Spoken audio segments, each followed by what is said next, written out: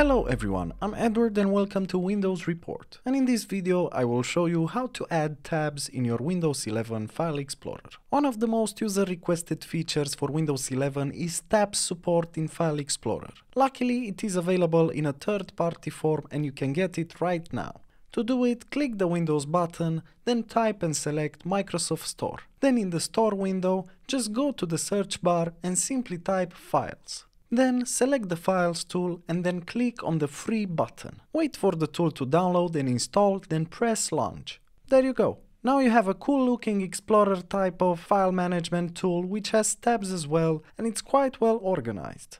You can easily use this until Windows 11 will bring more and more impressive updates and improvements to their overall look. So what do you think? Do you like this tool? Share your thoughts in the comment section. As usual, for more information and details, you can check the article in the description below.